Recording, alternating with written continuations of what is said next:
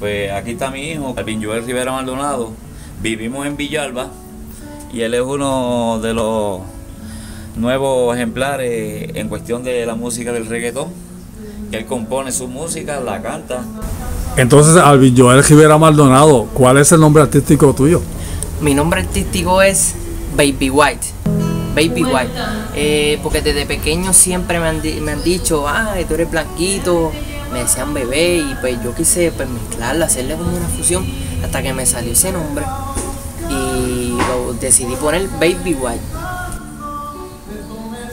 Mi nombre es Alvin Joel Rivera Maldonado.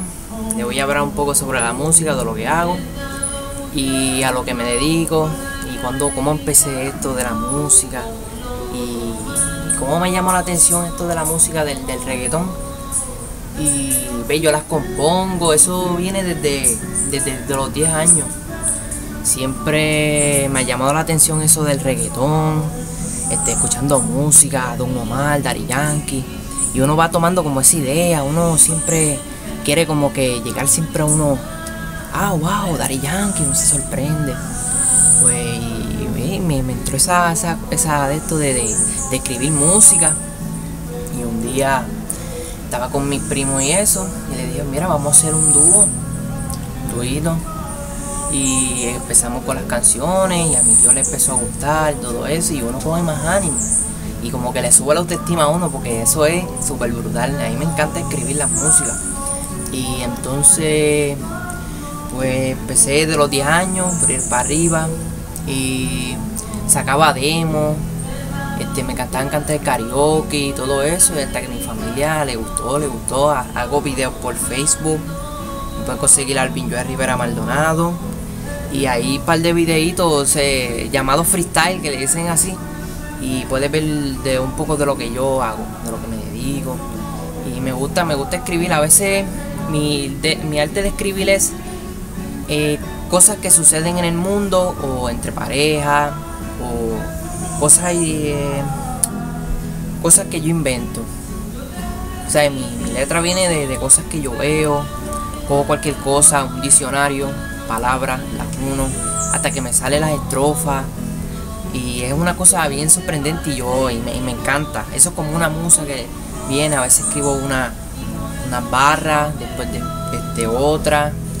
Y así hasta que eh, completo la, la, canción completa como tal. Entonces la, la, leo un par de veces hasta que me las aprendo. Y ahí empiezo a, grabarla hasta que, hasta que me salga. Y así siempre desde pequeñito me ha llamado la atención eso de la música. Yo quisiera ver poco a poco así, poco a poco ver dónde uno llega, ¿verdad? Y me gustaría, me encantaría, no sé, cantar, ah, he cantado también en público me ha gustado en la escuela, cuando yo estaba en la high school de Villalba, del Borrero Terry. Inclusive escribí una, una música de Villalba. Entonces, quiera decirle cualquier promotor o algo que quiere contactarme, pues se puede comunicar al 787-901-7426. Eh, quiero hacer mi primer disco y si se puede se da la oportunidad. Ahí está, yo estoy disponible. Cualquier cosa, aquí a la orden. Vamos a traer aquí a William. Echa para acá, William. Yeah. Ok, tú naciste aquí en Villalba. Sí. Y te has criado aquí toda tu vida. Toda mi vida. ¿Cuándo fue que primeramente empezaste a viajar para Estados Unidos a trabajar? Para el 86. 1986. Ir y venir te da una, un aspecto diferente a lo que es ser puertorriqueño. Sí, bastante, porque uno añora la isla, porque no es lo mismo estar viviendo en la isla que cuando uno la deja, que ahí le ve ahí que le pega la nostalgia a uno. Sí. Que si el ñame, que si el bacalao, que si todas esas cositas así que de momento dice, espérate, yo no tengo mi isla que puedo ir donde a la finquita mía a sacar esto, a sacar lo otro. Allá hay que comprarlo y no es lo mismo. ¿Entiendes?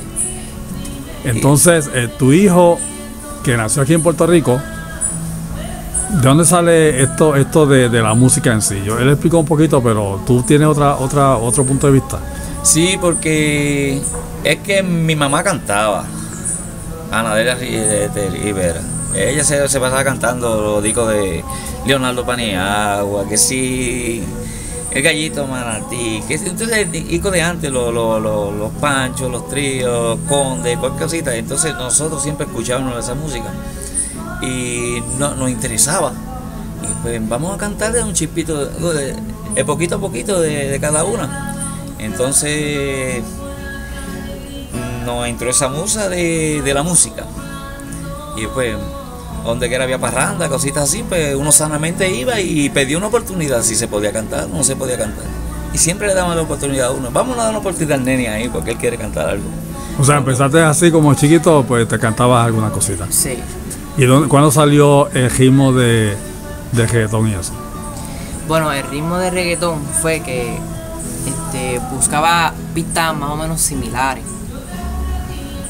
Y entonces, eh, pues en YouTube y busco una, una pista y empecé a, a escribir hasta que me salía. Y entonces, pues vamos a probar con un video. Lo, lo probé, escribí, y lo grabé y me salió y wow, me, me sorprendió. No sé, la eh, buenas críticas en, en, en el Facebook, yo volví porque yo lo subí y mira, y cogí más, más, como que más impulso y me, y me encantó y seguí haciendo videos así. Así que salió la, la, la música. ¿Qué recomienda a personas que les gusta la música pero que no han hecho nada todavía en su vida? ¿Cómo, cómo les recomiendas empezar? Bueno, si a, la gente que, le guste la música, que no se rinda ni nada, inténtelo. Si tiene algo en la mente, ponlo sobre encima de una pista y, escriba lo que le salga o, y arregla y no se quite nunca y si lo quiere intentar, inténtelo porque a mí me ha resultado y buenas críticas y me ha gustado. ¿Tienes alguna idea de cuál sería tu profesión de por vida? Eh, quiero ser técnico de farmacia. Esa es mi profesión que quiero lograr próximamente.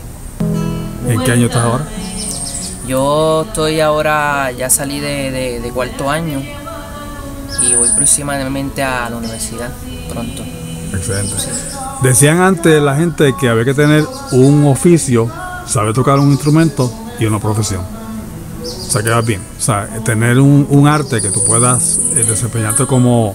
Si, su- si tu trabajo un día dice, mira, se acabó el trabajo, pues tú puedes agarrar un oficio o lo del arte, ¿verdad? Y tocar un instrumento sería buena idea.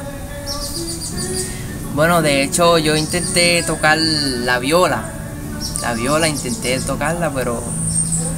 Sé un poquito de ella, pero, pero me retiré del, del de esto.